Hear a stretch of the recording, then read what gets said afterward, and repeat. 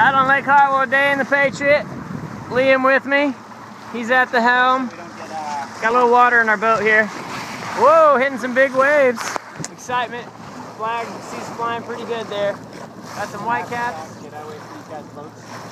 All right, we're about to tack. Tacking. Oh boy.